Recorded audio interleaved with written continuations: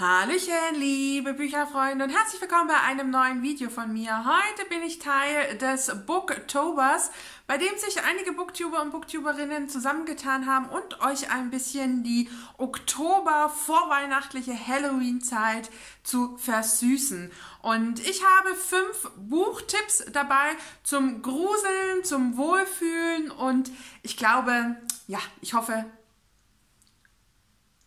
ich hoffe, der ein oder andere Tipp ist für euch dabei und ihr schaut euch eins der Bücher dann vielleicht näher an oder sagt sogar, ihr kennt das ein oder andere Buch schon oder auch alle Bücher und seht es genauso, dass die perfekt in den Spucktober passen. Ich packe die Playlist und alle Teilnehmer unten in die Infobox. Schaut da super gerne vorbei, wenn ihr vielleicht irgendeinen Termin noch nicht entdeckt habt oder vielleicht auch den einen oder anderen noch nicht in der Abo-Liste. Schaut da gerne vorbei. Ich packe auch die Bücher unten rein, wenn ihr da mehr Infos wollt.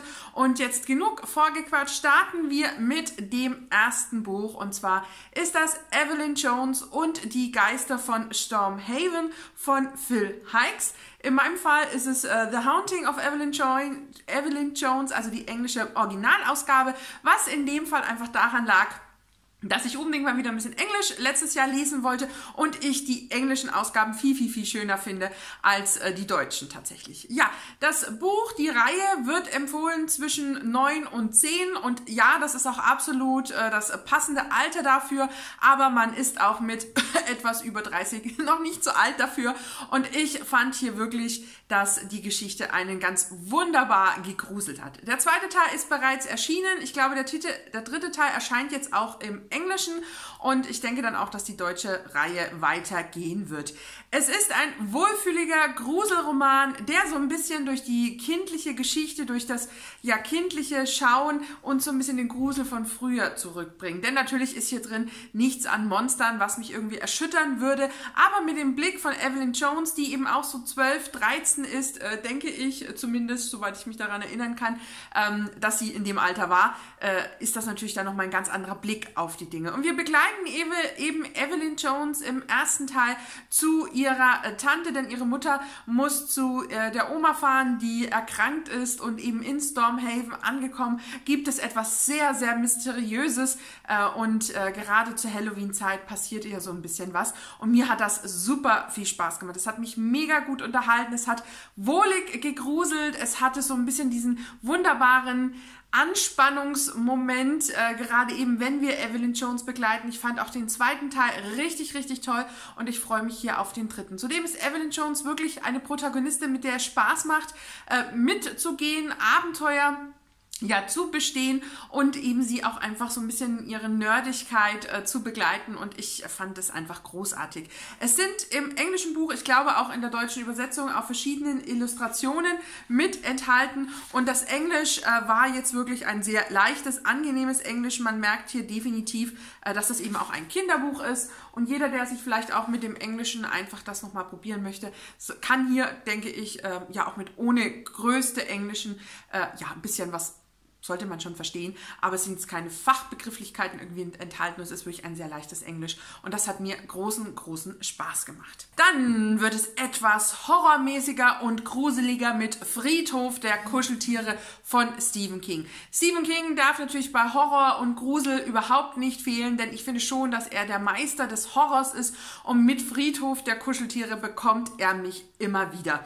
Das muss ich ehrlich sagen. Ich blende euch jetzt eine Ausgabe ein, denn ich habe meine mal wieder unten liegen lassen meine Stephen King stehen ja in der Regel alle einen Stock tiefer und ich habe äh, tatsächlich vergessen, äh, ihn jetzt gestern mit hochzuholen oder auch heute Vormittag habe ich da nicht irgendwie dran gedacht. Deswegen blende ich es euch ein, denn ich finde tatsächlich die Neuausgabe richtig, richtig schön. Ursprünglich ist die Geschichte aus 1985, wurde auch schon äh, verfilmt. Es gibt da auch einen sehr kuriosen zweiten Teil. Den sollte man sich am besten gar nicht anschauen. Es gibt aber eine Urfassung, ich glaube aus den 90ern, die ich tatsächlich gar nicht so schlecht finde für einen Horrorfilm aus den Ende 80er, Anfang 90er. Und es gibt eine Neuverfilmung, die habe ich nicht angesehen, weil man da zwei, drei Dinge im Plot komplett geändert hat, mit denen ich überhaupt nicht mitgehe und denke, nein, man muss auch nicht alles besser machen. Aber Friedhof der Kuscheltiere als Buch ist eine bombastische Geschichte, die wirklich sehr viel Gruselfaktor hat. Wir treffen Louis Creed und seine Familie, er zieht mit Frau Frau und zwei Kindern eher ins ländliche Ledlow und äh, dort ähm, trennt im Grunde die Nachbarn, die hier sehr rar gesät sind, trennt eine Bundesstraße.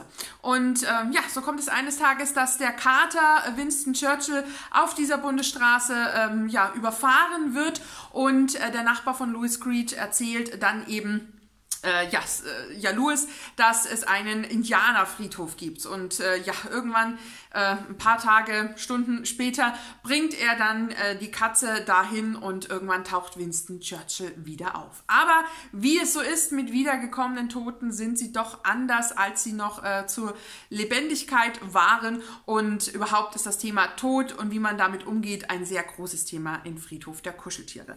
Was hier wirklich für mich immer den Grusel gibt, ist tatsächlich Winston Churchill. Wie er vorher ist, wie vorher die Menschen mit ihm umgehen, wie danach der Kater ist, wie danach mit ihm umgegangen wird und was eben so dieser Tod mit den unterschiedlichen Familienmitgliedern macht. Also egal, ob das die beiden Kinder sind, wie die damit umgehen, wie die Frau von Louis umgeht und er, wie Familienmitglieder, Nachbarn, was alles passiert, auch mit diesem Tierfriedhof. Ich ja, sehr einnehmende Geschichte, sehr atmosphärisch, sehr spannend, sehr gruselig und wirklich mit so das Beste an Horror gefühlt, was man wirklich irgendwie finden kann. Und es gibt wirklich den ein oder anderen Moment, wo ja, ich wahnsinnig viel Gänsehaut habe. Und ich selbst hatte ja auch mal einen Kater, der aussah wie Winston Churchill, eine, eine graue britisch Kurzhaar. Und ich muss sagen, dem Kater habe ich öfter mal sehr tief in die Augen geguckt, ob er noch der echte ist. Aber ja, sowas machen Geschichten mit einem. Dann kommen wir wieder zu etwas äh, kindlicherem, nämlich City of Ghosts von Victoria Schwab. Äh, das ist Tunnel of Bones, das ist der zweite Teil im englischen äh, Original. Ich selbst habe aber Band 1 und 2 im Deutschen gelesen, habe mir jetzt aber diese schöne Ausgabe ähm, ertauscht über Tauschticket. Und der dritte Teil im Deutschen ist jetzt auch schon für den Oktober angekündigt. Der könnte jetzt, auch wenn das Video erscheint, schon da sein. Ist ebenfalls für Kinder so ab 10 Jahre geeignet und auch hier muss ich sagen, ich habe mal so im Englischen ein bisschen rumgeblättert. Ich hatte so den Eindruck, äh, dass das tatsächlich auch ein gutes Englisch ist, wo man äh, gut folgen kann. Ich habe hier die ersten zwei ja, Kapitel nochmal durchgelesen. Mir hat aber hier auch wirklich einfach das Cover gefallen. Gefallen mir aber auch im Deutschen, aber ich hatte sie als E-Book und dachte, ja, so eine kleine Highlight-Reihe möchtest du zumindest einen Band im Regal haben. Ja, wir treffen in dieser Geschichte auf Cassidy Blake, äh, deren Eltern ein Autorenduo sind, die sich mit übernatürlichen Natürlichem beschäftigen und auch sie hat etwas Übersinnliches, denn vor knapp einem Jahr wäre sie fast ertrunken, wurde von einem Geist gerettet und seitdem kann sie eben ja den Schleier der Welt zu den Toten auch äh, hochheben und hindurchgehen. Und äh, im ersten Teil sind wir in Edinburgh inter unterwegs, im zweiten Teil in Paris und wie man sieht, sind wir hier eben in Paris in einem Tunnel, denn die Eltern recherchieren bzw. machen eine Fernsehshow und äh, ja Cassidy äh, wird hier ja so ein bisschen vor die Aufgabe gestellt, äh, zu entdecken, was es es mit ihrer Kraft irgendwie auf sich hat, warum sie hier ist und ähm, dass eben nicht ähm, alle Geister so ihr wohlgesonnen sind wie der Geist, der sie begleitet. Es war auch hier sehr gruselig durch die Kinderaugen. Es äh, war wirklich sehr spannend. Ich fand das mit ähm, ja, dem Übertritt in die, in, die, in die Totenwelt, in die Geisterwelt, fand ich mega gut gemacht. Ich mochte Cassidy als Charakter. Es gibt wahnsinnig viele Anspielungen auf Harry Potter. Das hat mir als Harry Potter äh, Nerd einfach auch super viel Spaß gemacht, so diese feinen Einflüsse, die da reingeflossen sind, die Victoria Schwab eben dann auch dazu äh, ja, outen, dass sie eben Harry Potter toll findet. Das hat mir viel Spaß gemacht, auch diese ganze Gruppendynamik mit, dem Elter, mit den Eltern, mit dem Geist, dass wir hier eine Ich-Perspektive haben, dass aber dadurch, dass ihr Geist im Grunde ja ihre Gedanken lesen kann, haben wir eben auch immer diese Dialoge und das hat super viel Spaß gemacht. Es ist gruselig, es ist spannend, mir hat es super viel Spaß gemacht. Ich freue mich jetzt sehr auf den dritten Teil und denke wirklich für Kinder ab 10 absolut äh, geeignet, aber eben auch in dem Fall durchaus auch für die Älteren, äh, die eben auch einfach nochmal sich so ein bisschen kindisch gruseln wollen und Atmosphäre erleben wollen. Das vierte Buch, was ich mitgebracht habe, ist von Anne Rice, Interview mit einem Vampir. Meine uralt Ausgabe, ich weiß gar nicht, ob sie heute noch so gibt. Ich glaube, mittlerweile sieht die definitiv anders aus. Ist aus dem Jahr 1976 und äh, ist mir als erstes aufgefallen, als ich damals in Anfang der 90er den Kinofilm gesehen habe mit Brad Pitt, Tom Cruise und Antonio Banderas und auch einem sehr jungen Christian Slater, den man, glaube ich, heute gar nicht mehr kennt. Und als ich diesen Film gesehen habe und dachte, was sind das für große großartige Vampire. Da muss man sagen, ich war so neun, wahrscheinlich noch keine zehn und äh, fand großartig. Ich war schon immer, seitdem ich Brad Pitt gefühlt in einem seiner ersten Filme sozusagen gesehen habe, war ich schon immer ein Brad Pitt-Film. So habe ich auch diesen gesehen und ich war bestimmt noch keine 16, das muss ich ganz klar sagen.